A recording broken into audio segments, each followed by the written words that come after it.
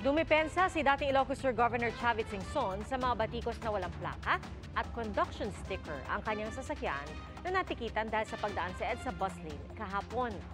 Sa panayam ng Super Radio DZBB, sinabi ni Singson na pambenta ang sasakyan at kung sino man ang bibili, ang siyang magpaparehistro nito. Nagsagawa raw sila ng test drive kahapon. Itinanggi rin niyang may blinker ang sasakyan. At kaugnay naman sa alok na 100,000 pisong pabuya, sinabi ni Singson na hindi ito suhol, kundi pang engganyo sa mga enforcer na ipagpatuloy ang kanilang trabaho.